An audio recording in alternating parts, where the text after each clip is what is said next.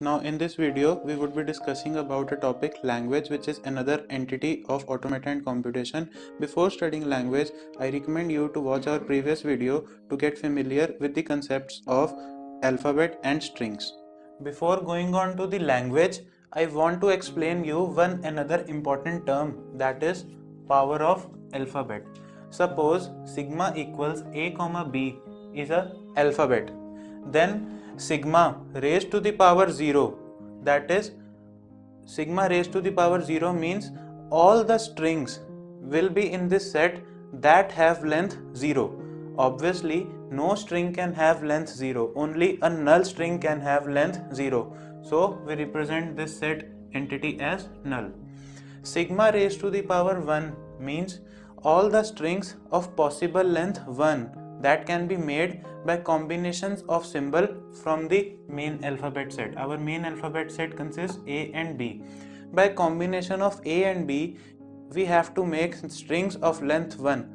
Obviously, by using the length 1, we can make only A and B as two strings. So, sigma 1 contains A and B only.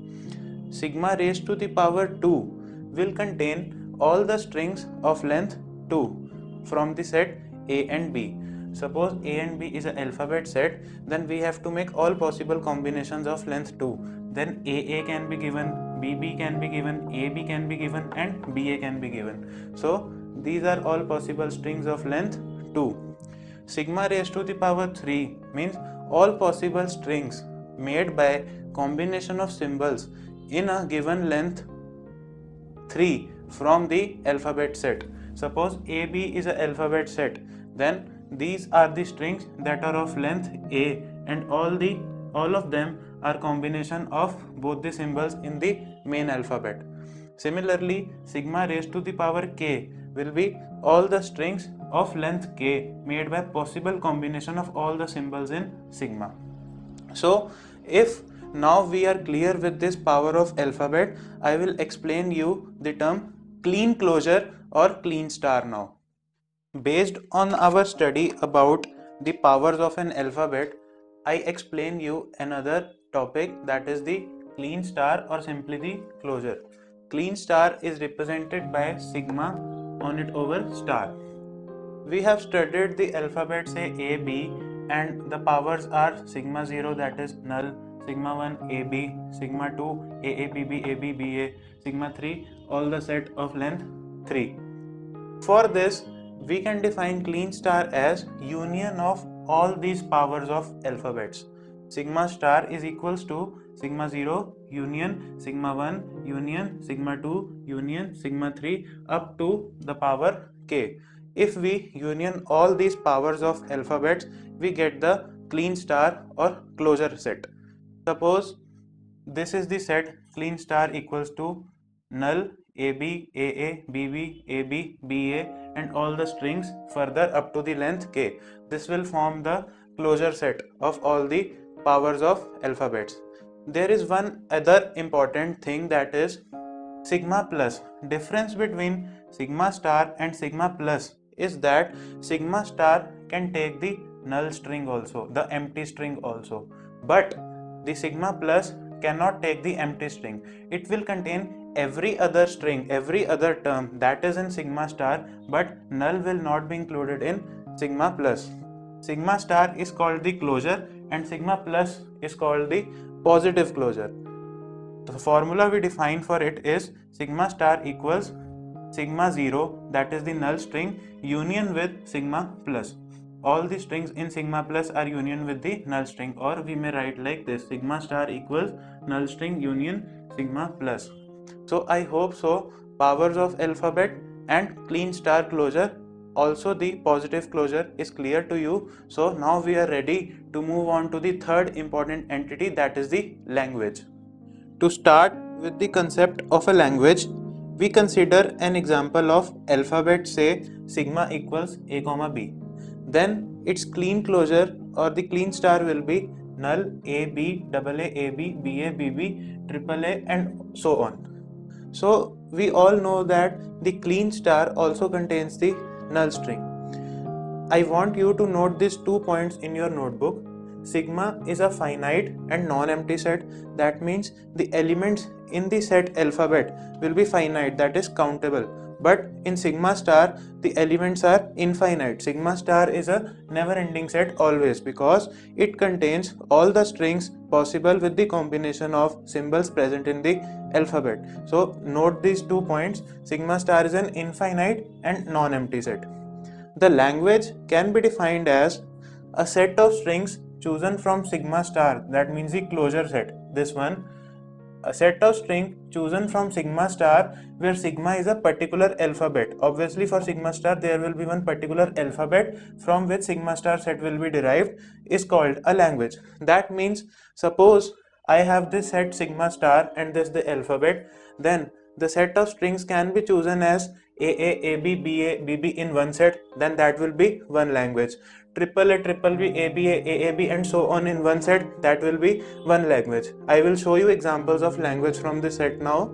Here I have declared three languages L1, L2 and L3 that I have constructed from the set sigma star. This sigma star is constructed from this alphabet A, comma B. As you can see, the set L1 contains four strings. There are four strings AA, AB, BA and BB. These four strings are enclosed in a set and call a language L1. Now suppose there is another language L2. This is also a finite set and there I have enclosed these 8 strings of length 3. So basically I mean that the L1 is consisting of strings that are of length 2, L2 is consisting of strings that are of length 3 and L3 is consisting of strings that are of length 1. But all these strings are chosen from the same set that is the Kleene star or closure. So a language is a set of strings that is chosen from the Kleene closure of the alphabet sigma defined above. But note that here languages L1, L2 and L3 are a finite set. It is necessary that the languages will be a finite set because we have to choose a proper number of strings from the Kleene star. Obviously when we have to choose a finite number of strings from a infinite set then the set of that finite number of strings will be a finite set obviously then we can define a relation between language and the Kleene closure as the language defined by symbol L is always a subset of Kleene closure where L is a language over alphabet sigma. Now we will consider some more examples about language. Now here is an example of another language. I have written the language of all strings consisting of two zeros and two ones from a binary alphabet 0 1 Suppose there is a binary alphabet then there are two symbols 0 and 1 then its Kleene closure or Kleene star will be a infinite set of all possible combinational strings using these two symbols only. But the language I have defined is according to a criteria that they should contain only two zeros and two ones. So from the Kleene closure or the Kleene star set I have chosen all those strings that are having two zeros and two ones. Here it is 2021 2 zeros 21 21 20 01 01 all of the strings are having two zeros and two ones.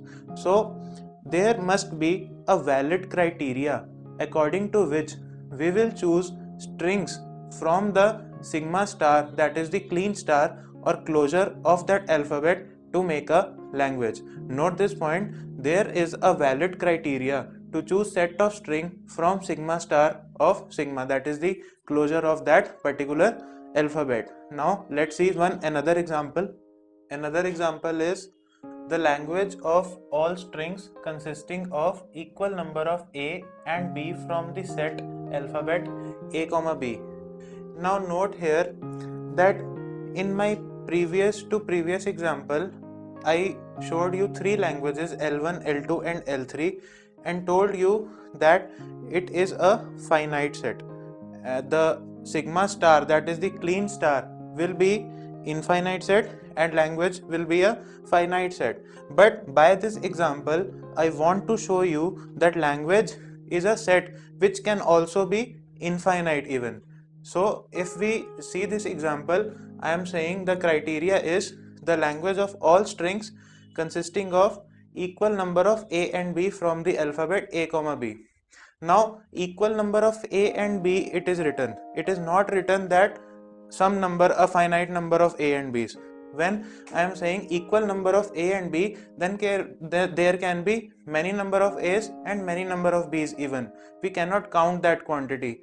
So the language here formed will be first null string where there is no a and no b 1a 1b 1a 1b 2a 2b all these are 2a 2b hence the set can continue up to infinite where we can have 3a 3b's 4a 4b's 5a 5b's and so on. So note this point that language is a set which can either be finite or either can be infinite also. So this was our example to show that language is a set which can be infinite also now here is another example of a language.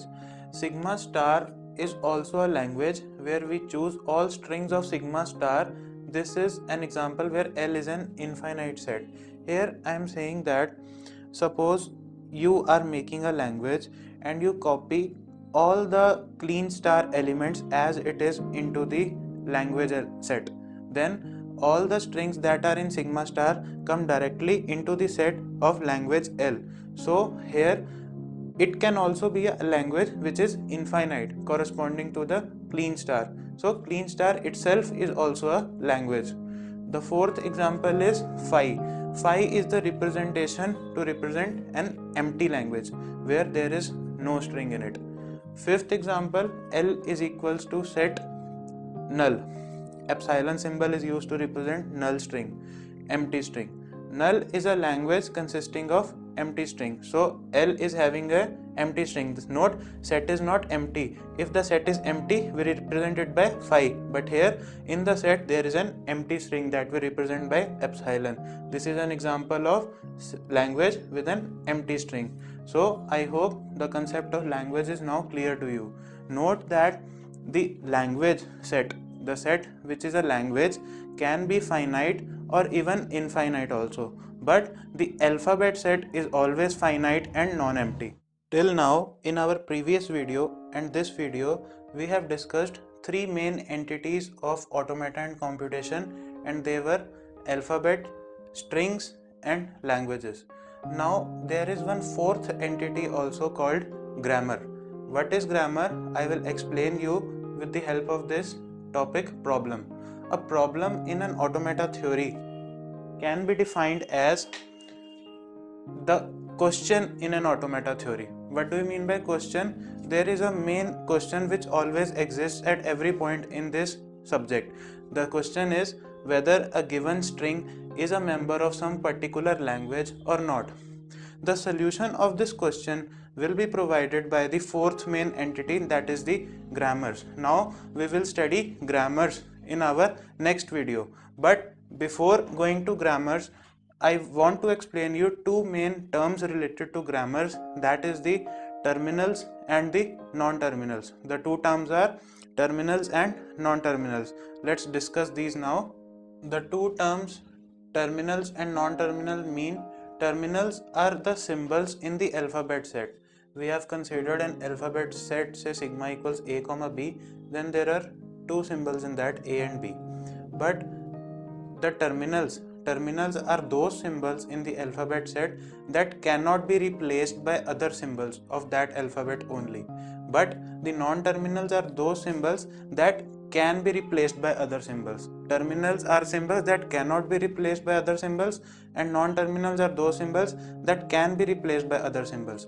Now what is the meaning of this term replacement of symbols that we will cover in our next video when we will study grammars? So i hope all that I have taught you till now alphabet, string, languages, power of alphabet, Kleene closure and formation of languages is clear to you. Now we are ready to move on to the next topic grammars which is the most important topic in automata. Now till now we have cleared our concepts about three main entities of theory of automata and computation and they are alphabet, strings and language. Before moving on to another topic, I want you to clear your concepts about these three topics and you have any doubts, please drop an email at the email address mentioned in the description of the YouTube video and To watch our full playlist, please click here. To go through our previous video, click here. And to subscribe to our channel, click here and then click on the bell button. Note, please note that please like our video.